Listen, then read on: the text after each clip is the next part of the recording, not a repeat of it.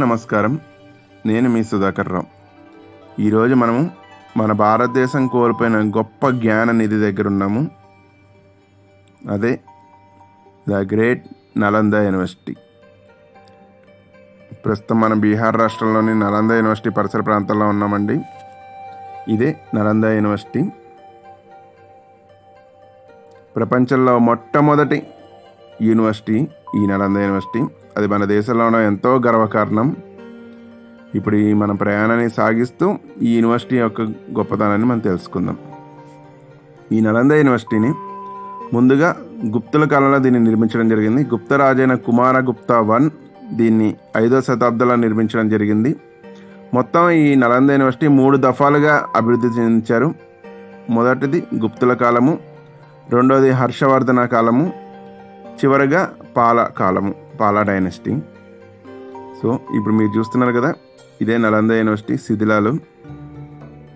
చూస్తున్నారు కదా ఈ నల్లగా కనిపిస్తున్నవన్నీ దీన్ని నలంద యూనివర్సిటీని తగలబెట్టడం వల్ల ఏర్పడిన మార్క్స్ అనమాట ఇప్పటికీ ఆ నల్లని గుర్తులు అలానే ఉన్నాయి. ఇవి చూస్తున్నవన్నీ క్లాస్ రూమ్స్ అనమాట ఇవన్నీ.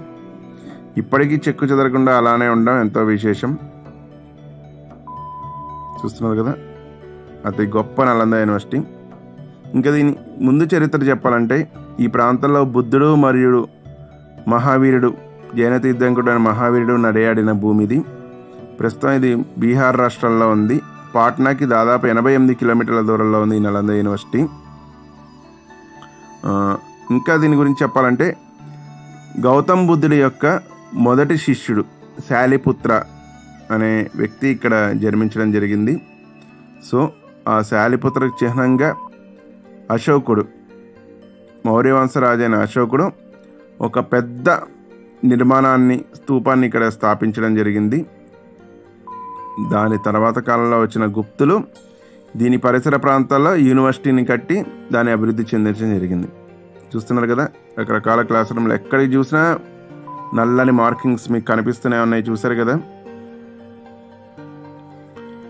అంతేకాకుండా మన దక్షిణ భారతదేశానికి చెందిన మన తెలుగువాడైన ఆచార్య నాగార్జునాచార్యులు కూడా ఇదే నలంద యూనివర్సిటీలో విద్యను అభ్యసించడం జరిగింది.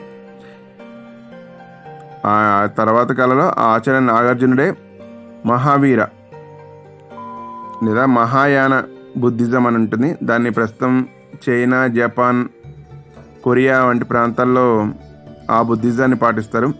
దానికి జన్మం ఇక్కడే అయింది. ఇప్పుడు మీరు చూస్తున్నదే మహావీరాయ. నేను చెప్పాను కదా శాలిపుత్ర యొక్క సమాధి అనమాట ఇది. దీన్ని అశోకుడు నిర్మించాడు. దీని చుట్టుపక్కల మొత్తం యూనివర్సిటీని స్ప్రెడ్ చేయడం జరిగింది. అంతేకాకుండా ఈ గొప్ప నలంద యూనివర్సిటీలో సంస్కృతం గురించి బుద్ధిజం గురించి ఖగోళ శాస్త్రం వైద్యం సంగీతం గణితం ఇలా రకరకాల సబ్జెక్టుల గురించి ఎక్స్ప్లెయిన్ చేయడం జరిగింది. ఇక్కడ ముందుగా మొత్తం మూడు భవనాలు ఉన్నాయి రత్నసాగర రత్నదది రత్నరంజిక అని అందులో రత్నోదది అనే భవనం దాదాపు తొమ్మిది అంతస్తులో ఉన్న భవనం. ఆ కాలంలోనే తొమ్మిది అంతస్తుల భవనాన్ని కట్టారు. అయితే చివరిగా పదకొండవ శతాబ్దంలో బెంగాల్ రాజైన బక్తియార్ ఖిల్జీ వీళ్ళు ఖిల్జీ వంశస్థులు లేదా ఢిల్లీ సుల్తాన్లు. బక్తియార్ ఖిల్జీ ఈ ప్రాంతాన్ని సందర్శించి ఇంత గొప్ప నిర్మాణాన్ని చూసి అసూయ చెంది దాదాపు ఆరు నెలలు నిరంతరం తగలబెట్టడం జరిగింది. దాంతో భారతదేశం ఎంతో గొప్పదన జ్ఞాన సంపదని కోల్పోవడం జరిగింది. ఆ కిల్జీ చేసిన పిచ్చిదనం వల్ల మన భారతదేశం ఎంతో వెనకబడిపోయింది. అంతేకాకుండా ఈ క్రూరమైన చర్యతో భారతదేశంలో బౌద్ధ మతం అనేది కూడా పూర్తిగా నామరూకాలు లేకుండా నాశనం అవ్వడం జరిగింది.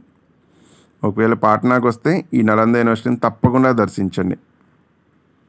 జై శ్రీరామ్.